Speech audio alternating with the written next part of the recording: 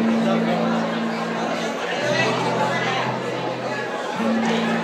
right, we are back for our third set. How you doing?